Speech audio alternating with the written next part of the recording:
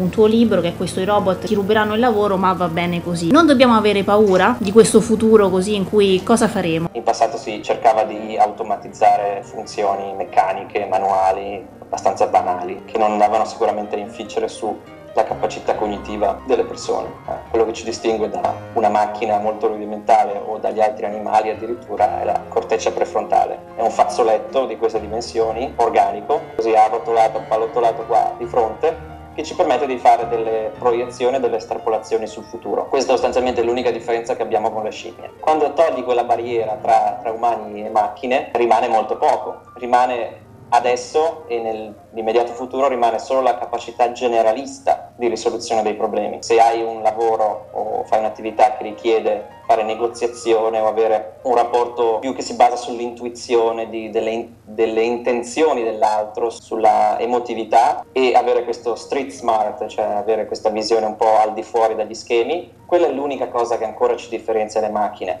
Per il resto sono software, no, eh, mandando a casa avvocati, questa cosa succederà sempre di più, chirurghi, cioè adesso ci sono, ci sono delle macchine che riescono a fare operazioni a cuore aperto e non, non sarà così lontano quando eh, nessuno vorrà poi essere operato da un chirurgo umano perché ha una possibilità di errore superiore a quella di un'intelligenza artificiale che poi diventa democratizzata, quindi il miglior software è a disposizione da chiunque nel mondo, invece il miglior chirurgo è a disposizione in un ospedale, in una città, in un, per quel, quelle sei ore lì e poi quando ha finito deve andare a dormire. Quindi insomma ci sono dei, dei grandi vantaggi che può portare questo.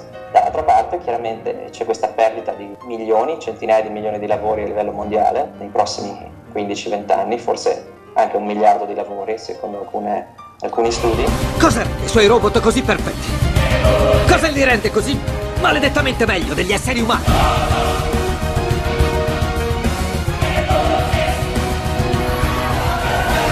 Se il 50% della produttività di oggi si riesce a fare con le macchine, magari vogliamo aumentare le capacità di quello che riusciamo a fare di un altro 50%, ok, 25% eh, rimane ancora quello lì che utilizzi, quindi è il 25% che continuerà a lavorare, ma l'altro 25% cosa fa? Quel 25% delle persone che prima lavorava adesso non lavora più e non serve più che lavora. Allora, in, ti inventi lavori inutili eh, solo per mettere queste 200 milioni di persone a lavorare, oppure crei un sistema che fa in modo che queste persone non debbano lavorare per vivere, ma possono fare attività che vogliono fare per migliorare se stessi, per migliorare la comunità dove, dove vivono, per eh, spendere più tempo con eh, magari aiutare gli anziani oppure eh, i bambini. Ci sono milioni di cose che si possono fare quando eh, si cambia la prospettiva di quello che la società pensa che tu debba fare. Mi sono letto un libro, non sapevo... Eh sì, sentivo il complotto chiudersi intorno a me. Sarei stato stritolato da un meccanismo omicida. Otto ore di lavoro al giorno, tre settimane di ferie l'anno. Avrei venduto l'unica cosa che mi era rimasta di mio oltre il culo, il tempo sarei diventato come lui. Oppure, se mi andava bene, mi sarei ritrovato a guardare la luna e a cantare canzoni d'amore ai Viados sul lungo po'. Se tu guardi in Finlandia, stanno già pensando di fare un, un trial nazionale eh, con eh, un reddito di base. Un reddito di base completamente diverso da dire eh, le assistenze sociali per eh, quelli disagiati perché lì vengono dati soldi a chi soldi non ne ha. E quello crea quello che viene chiamato la trappola dei benefici, cioè che se io ricevo, non so, 600 euro al mese per non fare niente e se vado a lavorare 8 ore al giorno, lavoro paga minima, faccio 750 euro, qual è il mio incentivo per iniziare a lavorare? 150 euro lavorando 8 ore al giorno? E se non lavoro niente ne faccio 600? Me ne sto a casa e mi prendo i soldi. Se invece io i soldi li prendo comunque, vado a lavorare e ne faccio 750 in più, quindi 600 più 750, ok, allora già un incentivo. Quindi l'idea di un reddito di base è molto interessante perché sposta la conversazione da un diamo i soldi ai poverini e a chi non ce la fa a creiamo un'infrastruttura che permette a chiunque di prendersi del tempo per esplorare, fare qualche cosa, per prendere dei rischi. Magari io voglio imparare una cosa che richiede 5 anni, voglio tornare all'università a imparare chimica per esempio. Adesso prendermi 5 anni per tornare all'università con, insomma, non è facile, devi avere un tot di soldi da parte, deve, non devi avere bambini, insomma, una, una serie di cose che devi inquadrare, poi magari hai un mutuo, c'hai la casa di là. Se tu hai un reddito di base ti permette di darti quel respiro per dire adesso provo a fare questa cosa. Oppure la cosa che puoi fare è, eh, ho appena avuto un figlio, voglio passare il primo anno con lui, tutti i giorni. E questa cosa non si può fare adesso.